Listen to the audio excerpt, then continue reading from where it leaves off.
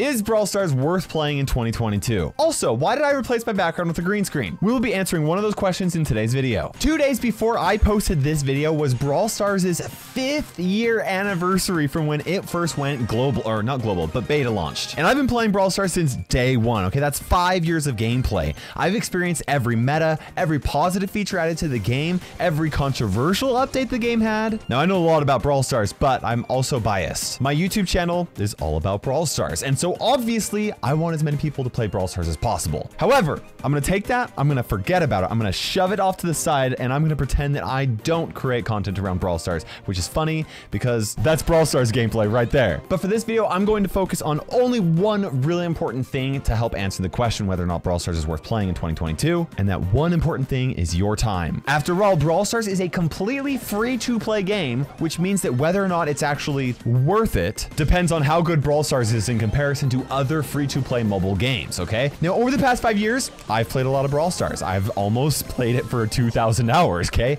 But I've also spent a lot of time playing other mobile games, okay? I've played Supercell games like Clash of Clans, Clash Royale, and Clash Mini. I've played other MOBAs like Pokemon Unite, Arena of Valor, Mobile Legends Bang Bang, and League of Legends Wild Rift. I've also played 3D shooters including PUBG Mobile, PUBG New State, Call of Duty Mobile, Apex Legends, and also Free Fire. Which, by the way, subscribe to my Free Fire channel right there. I've also played some massive MMORPGs like Lineage 2 Revolution, Black Desert Mobile, and I'm currently playing a lot of old school RuneScape and Diablo Immortal. I've also put some serious hours into gacha games like Raid Shadow Legends, Guardian Tales, and Genshin Impact. And then there's Among Us, which, well, was kind of sus. The point is, long before I ever started doing YouTube, I was a gamer. And even though covering Brawl Stars is essentially my job, I've continued to play games that I don't create content on. And I like to tell people, like my mom, that I play other games to uh, stay up to date with the mobile gaming community and also to like keep myself passionate about my work. But uh, really, I just like playing games.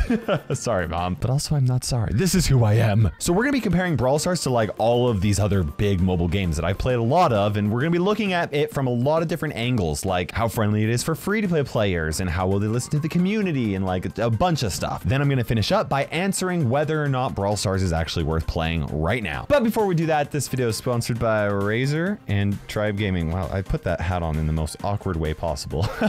you can now get custom Razer gear featuring three awesome designs that all support your uh, your love for Tribe Gaming. Click the link in the description below to check it out. Now, Razer is known for making high quality products for gamers that I've been using for years. Now, I know this might seem silly, but like one of my favorite products are their finger sleeves. Like this is so good for mobile gaming. But we've also got this sick mouse pad and this even bigger mouse pad and somehow this even bigger, bigger mouse pad. We also got this sick Orochi V2 mouse with these different face plates, and I, I believe there are other mice as well with custom faceplates. This is awesome. Not to mention phone cases for my sweet mobile gaming friends, which is all of you. Now, my personal favorite is this red and black camo design, which is it's just so awesome. And you have a chance to get a mouse pad like this for free. All you got to do is follow my Twitter using the link below, find my tweet where I'm hosting a giveaway, and then comment which design is your favorite. A big thank you to Tribe and Razer for sponsoring this video. Make sure you click that link below so you can get some custom Razer gear yourself. We're going to start off this discussion of whether Brawl Stars is worth playing in 2022 by talking about the most important aspect of any game, in my opinion, and that is whether or not the core gameplay is actually fun and replayable, okay? There's those are two really important things. A game can be fun, but after you've played it like two or three times, you're like super bored. But there are also games that I would say aren't actually fun, but are addictively replayable. So like a game has to be replayable and fun. Both, mm, you get the idea. Now, obviously, this is really going to heavily depend on your personal preference. In my personal opinion, I think Brawl Stars has an amazing core gameplay experience and is 100% worth playing, right? Otherwise, I, I, honestly don't think that I would be covering it. Like, I'm really passionate about covering games that I enjoy playing, which is Brawl Stars, right? I, I know I'm a little biased, but like, that's what, why I'm still doing this. But when I talk about Brawl Stars' core gameplay, I'm talking about the actual battles that take place. Let's just not think about like progression or anything else. We're talking about gameplay, right? Movement and aiming feels really intuitive, and unless you have a really bad connection, it is very responsive and smooth, which I think makes the game feel very immersive, especially for a mobile game. Like, like it feels like you were in the game, which is really cool. There's almost 60 different characters, and they're all unique from each other in like one way or another. And a lot of them are like way different, especially the newer brawlers that Supercell's been releasing this past year. They're like really unique. Unique, eh, which is impressive because you think it'd get more and more difficult for them to create unique characters, but no, they've, they've somehow done it. Now, Brawl Stars' core gameplay is most similar to other top-down MOBAs, but it's also really unique. Matches are shorter and you play 3v3 instead of 5v5 like in other MOBAs. A really cool feature about Brawl Stars is that it feels like you can actually carry your team if you're skilled enough, and that means that you get rewarded for highly skilled gameplay, but it also means that you could be the reason why your team loses a match, which is like, you know, really punishes those mistakes, and I think that makes the game more fun and exciting. Now, most MOBAs only have one core game mode, and one thing about Brawl Stars that I really like is how much variety the game modes have. I think they've done a really good job at making each game mode feel like really unique and different from each other, even though the core like brawler mechanics are the same no matter which game mode you're playing in, right? Now, with that being said, Brawl Stars' game modes are fairly simple in comparison to other MOBAs, but honestly, I actually think that's okay. There are more different types of game modes, and also the matches are a lot shorter, which means that like throwing too much complexity into a, two minute match is, I, I think that would not be a good idea. I don't want the game modes to necessarily be too much more complex unless they created a game mode that was like specifically made to last like five minutes long. Also, this feature of like very simple game modes makes Brawl Stars way easier to learn than other MOBAs, okay? Now, I have said this in the past and I stick by it. I would love a more complex 5v5 game mode in Brawl Stars that would could last five to 10 minutes. I, I personally think that would be awesome. I, I really want that to happen. But if I could only choose between a 5v5 complex game mode, like are in other MOBAs, and the 3v3 simple ones that we have in Brawl Stars that are shorter and we have a lot more variety of, like Brawl Stars is going to be my choice. Now, with that said, one thing I like a lot about other MOBAs that I feel like Brawl Stars is kind of missing is more depth with each characters and how many abilities they have. Most MOBA characters have a main attack, three active abilities, an ultimate ability, at least one passive ability, and then one slot that can use like a set of abilities that can be played on every single character in the game. That's a total of seven abilities that make up each character, but honestly, I've actually played MOBAs where like characters have up to 10 different abilities that makes them like crazy unique, especially if you include an item slot. Brawl Stars has a main attack, a super, a gadget, and a star power, which is four total abilities, which is a lot less depth to each character, okay? Now you might be thinking that I missed gears, but I didn't, okay? Technically, you can equip two gears that each add a passive ability to your brawler. But most other MOBAs have other systems in place that are significantly more deep than gears and offer way more character customization. Not only is there usually a shop at the home base, which allows you to add various stats to your character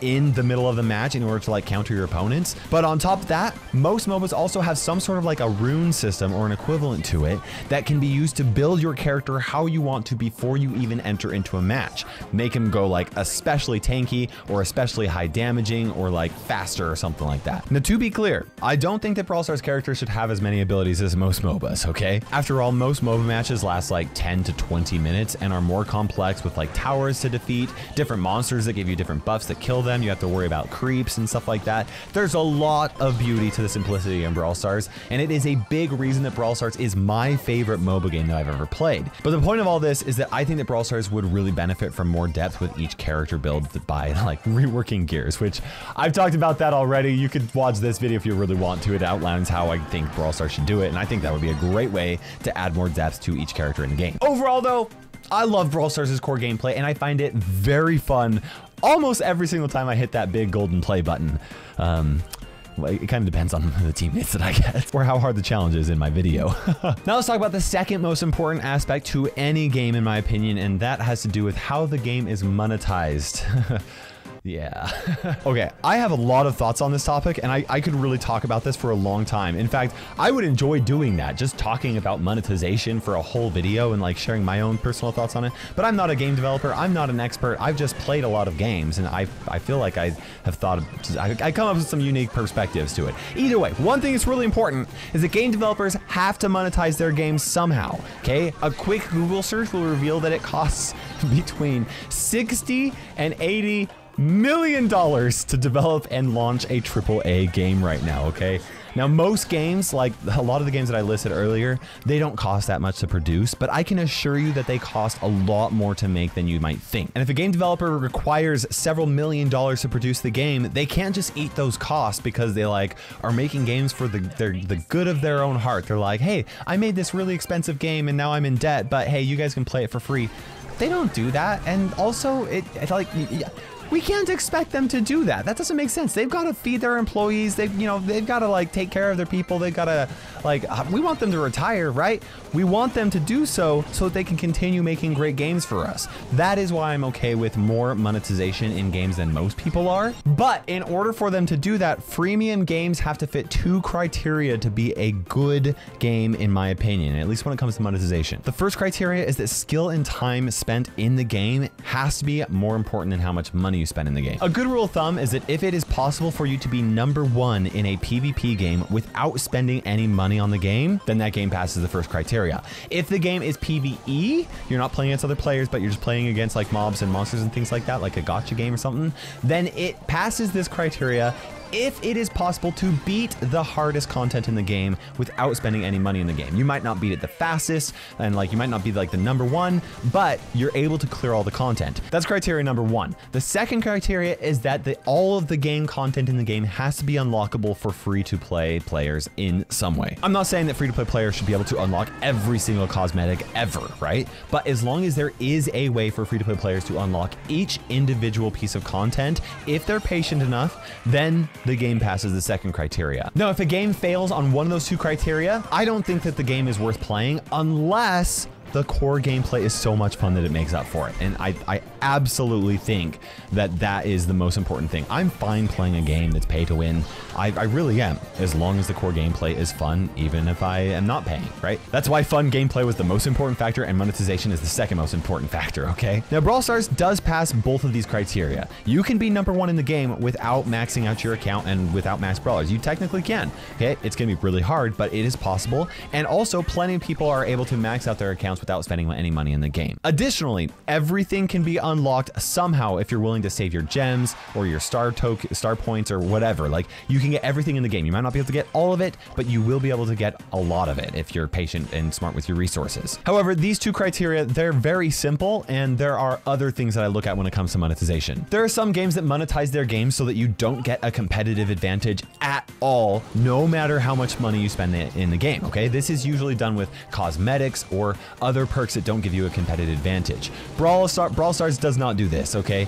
You can pay and spend money to have higher level brawlers than your opponents. That's that's just like you can pay to win in Brawl Stars to an extent, okay? Games that don't do this though, that are like strictly free to play and you get zero competitive advantage. I like the way they monetize the game more than I like how Brawl Stars does it, and I really like it when games do this. But games that do this tend to struggle with another issue, and that tends to be a lack of satisfying long-term progression. I really like games that have a long-term progression, okay? It makes it feel like I'm putting my time towards something, and even though it like after I Like max out an account in some like MMO or something like that, and like like I've got I've put all these hours into it, even though that does nothing for the real world, it makes me feel a sense of like, hey, you know what? I enjoy doing that, and I have something to prove that I enjoy doing that, and that's I like that. Okay, I can always go back to my old school RuneScape character, and I can like the progress that I put into the game is always there, and I can always go back to it. I I enjoy that, even though I spent so many hours on it. Like you, you get where I'm coming from, right?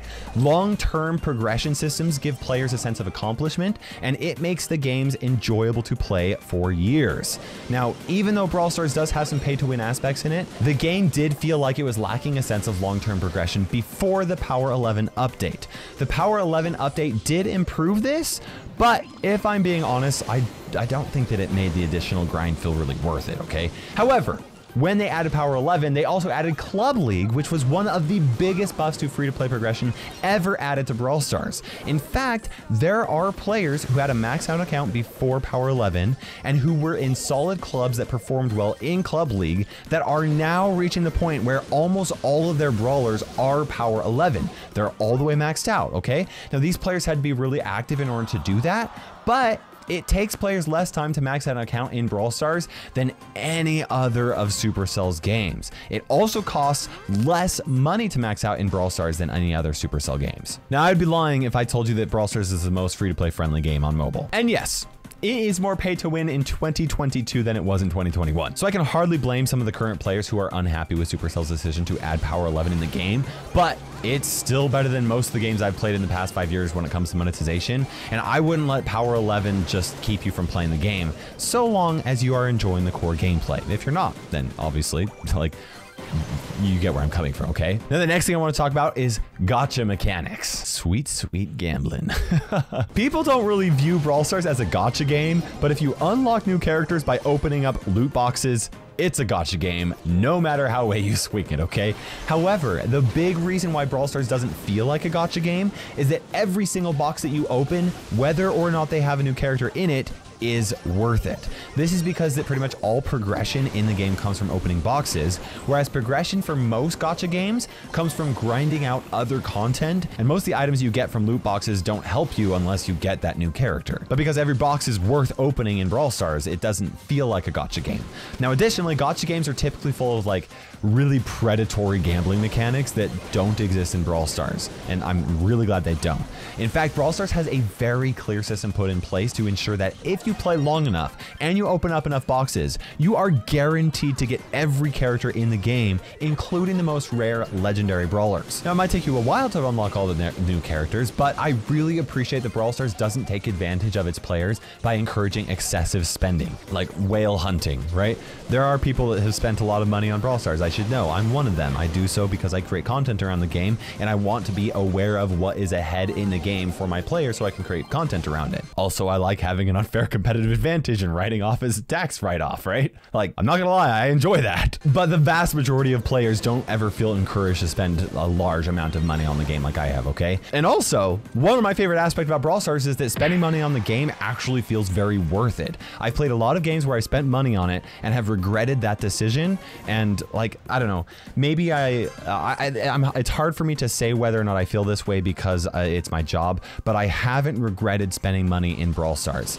That might not be a fair statement though, because I do create content around it. So that's really hard for me to separate. I feel like I, for this video, I do a really good job at separating all of my thoughts and feelings as a content creator versus a gamer. That's one thing I'm having a hard time separating. But the Brawl Pass is incredibly worth it, and free-to-play players can even save their gems to buy every other Brawl Pass for free, which is awesome because the Brawl Pass just provides so much value and has plenty of cosmetics in it as well. So when it comes to gacha games and the gacha mechanics in Brawl Stars, I think Brawl Stars is one of the best gacha games I've ever played. However, there is one important aspect of gacha games that I think Brawl Stars doesn't do as well as some others. Now, typically, I'm going to simplify this. There are three ways that gacha games get their players excited about unlocking new characters.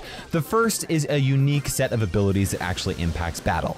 Brawl Stars does a great job at this. Now, the second way that gacha games do this is by making their characters overly attractive to their players, okay? By this, I mean that they make their characters overly cute, overly muscular, and probably the most common is by making them overly sexy. Brawl Stars doesn't do this. And to be clear, I am very glad that they don't do this. Personally, I think that making characters overly attractive in game actually cheapens the actual game experience a lot of the times. Unless you go to that game specifically for that. In that case, like, okay, then yeah, you might as well, right? But a lot of gacha games will do this. Now, I have played games that do this in very good taste that I have been like, you know what, that's a little much, but I'm okay with that because, uh, well, because for the most part, they do a pretty good job. But most games take this a little too far. so the fact that Brawl Stars doesn't emphasize the physical attributes of their characters, in my opinion, is a very positive thing. But that's not what I'm here to talk about. The third thing that gacha games do to get their players excited about unlocking new characters is character depth and lore, okay? Background story. I've played gacha games that like celebrate their characters' birthdays and like give players items for every single one of the characters' birthdays. So, like it's like, oh, sweet, like you get where I'm coming from, right? A good gacha game will build up a story behind every character in creative ways to get their players invested in their characters. They give each character's unique personalities. They make you love them. They make you relate to them. They make they sometimes they even make you hate them. They do this through quests in game that teach teach you about each character and they build up this background story and like they're if they're really good they'll also make you excited every single time you learn more about their characters now doing this does require a lot of work and effort in order for it to feel natural instead of forced. But if a game is able to do this like very well, it makes the game feel very interactive and full. And it's like, it's a lot like watching a movie or a TV series, except you actually get to interact with those characters. So like in some ways, I, it's, it's really, I, I enjoy that experience when it's done tastefully. Now, strangely enough, Brawl Stars does a great job at this, but they also do like kind of a, a bad job at it in my. Let, me explain. Brawl Stars has a very interesting story behind it. And they've done an amazing job at building hype in the community regarding the lore behind Brawl Stars. In fact, I think the Brawl Stars community is like so thirsty for more lore because every single time we get some, it's so good, okay? I've got a whole Brawl Theory series talking about everything you need to know right here. It's really cool. But that's actually part of the issue. In order for you to learn about Brawl Stars' lore, you literally have to leave the game to learn anything, okay? Aside from some voice lines and some character descriptions, the game does almost nothing to explain the lore behind each character. Most of the lore that we know has happened through Brawl Talks, social posts, and websites that don't actually like, exist inside the game. So even though Brawl Stars does have some very interesting lore, most of the players have no clue that the game takes place in a defunct amusement park that experiments on its guests. Also, the frequency that we get new information about brawlers is like way too low, and even though we do know a lot about some brawlers, there's a lot more that we don't know, and there's a lot of characters that we like we we know like maybe two or three things, and that's it. Now, to be fair, most gacha games that do a good job with this are primarily player versus environment rather than player versus player games like Brawl Stars is. It's a lot easier to build character depth in a game that is PvE because you can actually create a storyline for that, those characters. And I, I think that Brawl Stars has done a pretty good job at building up the game's lore in a very creative way, especially for a PvP game. And I also do give them props for doing so in such a creative way. It's it's it's really cool. But if you're looking for a game that will take you through an interesting story and get you invested in their characters, Brawl Stars just isn't going to do that for you. So you better be here for the gameplay. And the next thing I wanted to talk about is update frequency, which is a huge factor when playing online games like Brawl Stars. If you're going to invest hundreds of hours into a game, you want to make sure that they're adding enough new content to make the investment actually feel worth it in the long run. Update frequency and update size has been one of the biggest issues that Supercell has had in their games and ever since Supercell games were released. Supercell has been founded on the core belief of small developer teams in order to eliminate as much red tape as possible. And that is a big reason why Supercell has such a reputation for making amazing games because they give the power to the developers, the people that care about making games rather than the actual CEO and rather than like the finance guys who only care about the money and the, the bottom line. Brawl Stars has to care about that to some extent, but really their developers are the ones that are running the show. They're they primarily focus on actually making good games. However, that also means that they cannot produce as much content as other game companies. I don't care how how you look at it or try to spin it. A team of 30 people just can't do as much as a team of 300 even without the red tape. It's just it it just doesn't make sense. You can't you can't do it it. In my 100% honest opinion, Brawl Stars updates aren't big enough or frequent enough to compete with a lot of other big games these days. But Brawl Stars has come a long way since it was first released five years ago. Brawl Stars is updating their game more frequently and more consistently with bigger updates than they've ever done before. We get an update every two months, and with each update, we get one to two new characters, a new season pass with a new environment and theme that also comes with quite a few skins and cosmetics. We get a temporary special game mode as well that rotates in with other special game modes that we get to try on on the weekends or like randomly. And we also usually get like some small changes and additions or like quality of life improvements. And that's a pretty standard update every two months. On top of that, we usually get like a big feature added into the game every like two to three updates. Now this might not be as much in comparison to some games that are like constantly adding big game changing features like every update, like all the time but it's a lot more than Brawl Stars has ever done before. And like, uh, if you doubt me, just go look at the Brawl Stars wiki and look at some updates from a couple of years ago. Okay, like the amount of content that we are getting is way more than we ever got. But there's a lot of players that have been playing for several years, like me, five years, who are feeling like, you know, it's not enough. And I understand why they feel like that because, you know what? We're burning through the content faster than Brawl Stars can actually produce it because Brawl Stars has a smaller team than a lot of these other game developers do. Either way, though, I think that we have to give Brawl Stars a lot of props for adding more content in each update than we've ever had, as well as for their consistency in doing so. I do think they would really benefit from adding one big feature to the game with every update. And I know that's a lot to ask for their small team, but I think that's what they need to in order to keep up with the long-term players like me who are eating through content super quickly. I've tried figuring out how Supercell could solve this issue, and the only thing I can think of is outsourcing different content, and Supercell is gonna have to figure out how they need to do that, but like, I think that's something they need to consider. Okay, this video is already like way longer than I thought it was going to be. So let's do a rapid fire mode where Brawl Stars gets bonus points for being better than most other games for certain things, and no bonus points for being worse than other games or just being average. How does Brawl Stars compare to other games when it comes to listening to community feedback? I give them bonus points for this, okay? With the exception of them taking a very long time to improve gears, the Brawl Stars team does above average when it comes to applying community feedback. They've uh, done, they've shown this many times in the past, pretty much every single time. They've, they've always listened to our feedback, and most of the time, they do so fairly quickly. How does Brawl Stars compare to other games when it comes to the social gaming experience? No bonus points here. If you have friends that play Brawl Stars already, Brawl Stars is very fun to play with them. It's a great game for playing with friends, but it doesn't actually encourage social interaction very much other than Club League, which did make it more social somewhat recently. But if you're looking for a social game and you're not one that naturally engages with other players, Brawl Stars isn't very social. How does Brawl Stars compare with other games when it comes to the competitive scene? I've got to give them bonus points for this, okay? The game has a huge skill cap and a very competitive esports scene.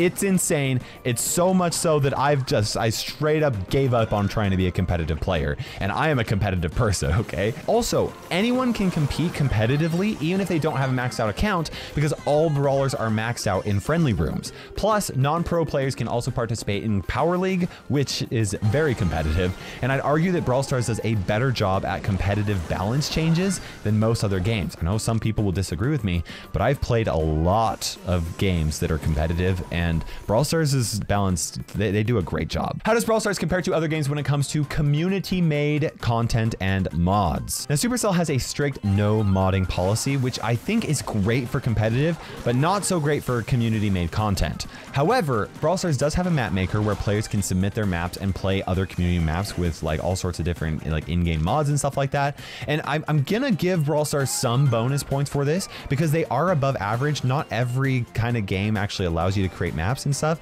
but I do think they could add more features to the game to allow for more creativity. How does Brawl Stars' early game experience compare to other games? I'm gonna give them bonus points for this. Brawl Stars has a lot to offer to new players, and like seriously, think of the first time you started playing Brawl Stars. It is, it's one of the most exciting games to play as a new player. Progression feels really fast paced and exciting. You unlock a lot of characters fairly quickly at the very start, and like there's a lot to learn in all these new game modes and stuff. It's it's really fun. How does Brawl Stars' mid game experience compared to other games. I'm gonna give Brawl Stars bonus points for this as well. Progression feels really good for quite a while, and there's a solid reason to come back to play every day as you unlock new brawlers with new powers, like gears and star powers, or gadgets and star powers and stuff like that. Uh, those abilities for the like it, the game continues to change and adapt for you. Mid game is really fun and exciting. How does Brawl Stars' end game experience compare with other games? This Depends.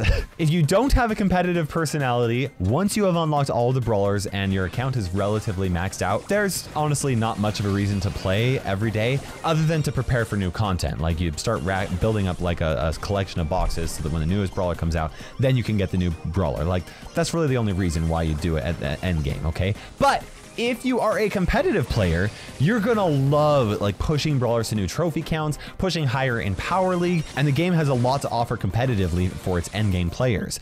Now, because the answer to this depends on what your personality, I'm not going to give Brawl Stars bonus points, but that doesn't mean that Brawl Stars' endgame isn't entirely stale. So then, is Brawl Stars worth playing in 2022? Ultimately, I think it comes down to whether or not you find the game fun. Now, I know that's a really simple way to look at it, especially after I've talked about the game from so many different angles, but, but that's that's how it comes down to it. If you're having fun, the game's absolutely a ton of fun, and like you're gonna enjoy it. But if you're not having fun, there are lots of other free mobile games out there, and as a content creator that creates Brawl Stars content, I hate myself for saying that, but as a gamer who relates with other gamers, absolutely. Like I really, I, I get that. Now for me personally, I absolutely think Brawl Stars is worth the time. I wouldn't be making this video if I didn't, right? Even after five years, I'm still playing almost every day, even though I have given up on pushing competitively. I'm not a competitive player, but I find the gameplay so good, and I really appreciate the, the Brawl Stars developer team so much because they, they listen to us. They are always adding cool things. Honestly, I, there, there are going to be other Supercell teams that are going to hate me for saying this. I think that they are the best team. I really do. Like, and I haven't met the other teams as personally as I've met the Brawl Stars developer team, but like, they do such a good job, okay? I'm really excited about the game's future, and I'm not saying the game is perfect. I, it definitely has its flaws. I've talked about it in this video. I've talked about them extensively in my Gears video, which you can watch, um, which I've already talked about. But it is it's a freaking amazing game. And I definitely say it is above average in comparison to a lot of what's out there. So, yes, Brawl Stars is worth it in 2022. In fact, I'd argue that it's even more enjoyable to play now than it ever has been. But I really want to know what your guys' thoughts are. Maybe you have a completely different opinion and that this is a place to talk about it. I want to know what your thoughts are. So let me know in the comment section below. And also check out this Brawl Theory video where I uncover Brawl Stars' dark secrets and subscribe for more content, including content on my other channels. For now, this is Kairos. I'm ticking by. Don't forget to use code Kairos in the Brawl Stars shop and we will see you in Brawl Stars.